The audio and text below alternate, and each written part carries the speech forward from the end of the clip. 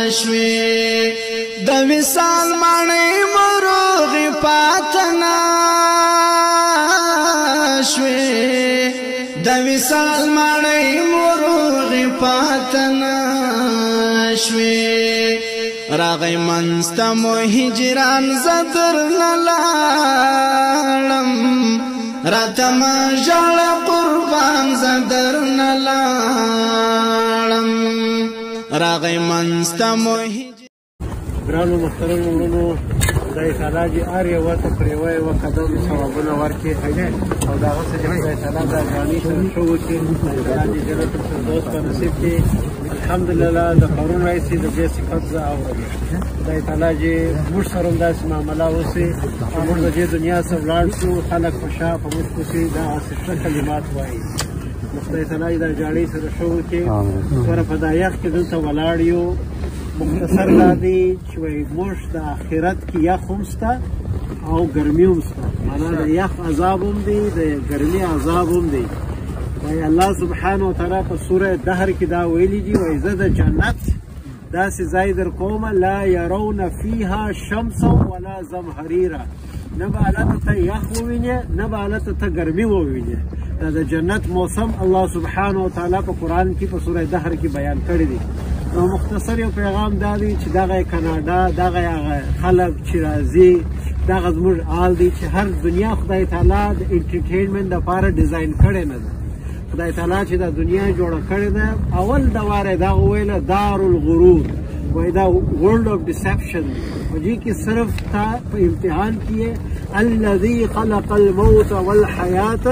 ليبلوکم ايکم احسن عملا الله سبحانه وتعالى وای په سوره ملک وای دا د مرګ او د ژوند خلق الموت والحیات د مرګ د مرګو د ژوند نظام چې ما شروع کړی دی هغه مقصد یې چشتي لیبلوکم چې تا ټیسټ کوم چې چې ټیسټ کوم ایکم احسن عملا چې په تاسو کې کم یو دی نامې چې را مخته سي او ښه شایسته عمل وکړي زموږ اسلام ډیر شایسته دی موږ د فامیلی سره د بزنس سره د هیڅ څه نه راګرځي بس دغه راته وایي چې دغه ورځ په یاد دغه راته وایي چې خپل منزل